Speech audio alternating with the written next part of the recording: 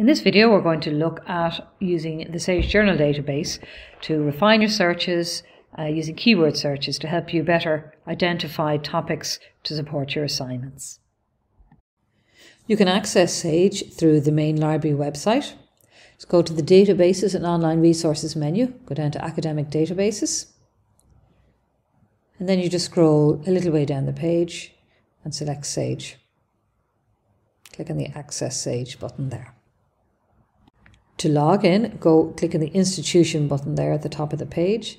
Then click on Access your institution. Select Ireland, Edugate. And then you'll see Griffith College there in the list. Once you're logged in, you're logged in for each session. Just log in with your Moodle password there, and then you're good to go.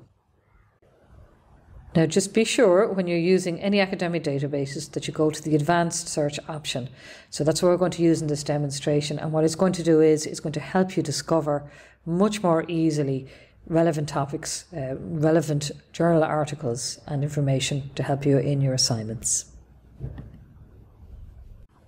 So what we're going to do is, is we're going to put some terms into these boxes here. Interior architecture in green, and let's see.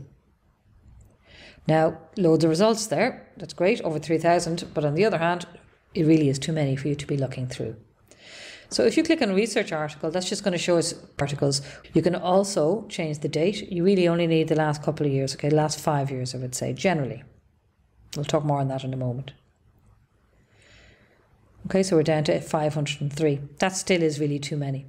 We can add in another search term to make it more specific. So let's say we're doing a project on schools down to 341, much more manageable, and we're getting much closer to the kind of information that we need.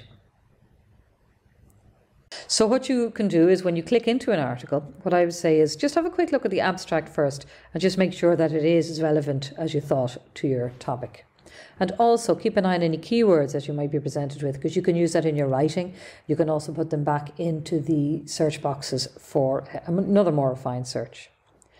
Another advantage is by using these databases is that you'll often see examples of Harvard referencing. So that'll really help you get an idea about the kind of writing that your lecturers are looking for and expecting to see in your assignments.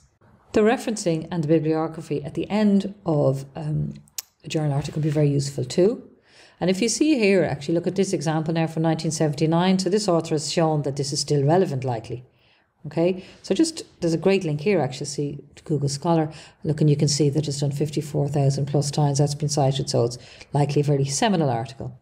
Another useful way of narrowing your search is is rather than by searching anywhere in the entire article for the appearance of these terms, you can limit it to searching just in the abstract. So I just click on abstract there for interior architecture, and it's only going to look for that phrase in the abstract, which is the description of an article so it's much more likely to have a more relevance to you. So you can mix and match those, you can do different versions and have slightly different results. There is no one perfect search just to make that point, okay? So you're going in and out and trying different versions. So I hope you found that useful. Um, so just to recap, we went into the advanced search uh, of the database and we built up the search there using text boxes using short phrases or keywords.